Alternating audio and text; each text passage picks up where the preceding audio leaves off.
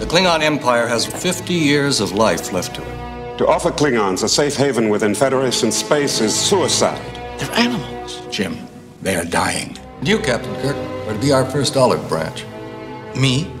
The galaxy stands at a crossroads.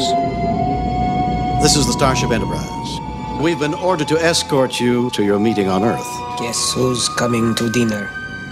I have so wanted to meet you, Captain. One warrior to another. Right. On the verge of peace. The undiscovered country. The future. On the brink of war. We come in peace, and you blatantly defy that. We haven't fired. According to our databanks, we have. I shall blow you out of the stars. Now, the crew of the Starship Enterprise will not be the instigators of full-scale war on the eve of universal peace. They're coming about. Battle stations. Fights not to win battles. Incoming! Signal our surrender. Captain? We surrender! But to end them forever.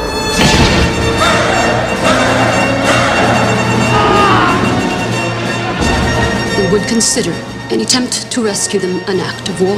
There will never be a better time. This is Captain Sulu, USS Excelsior. I stand ready to assist you. This is fun. You do prefer it this way, as it was meant to be. Warrior to warrior. You cannot take much more of this. And slip the dogs of war. Fire!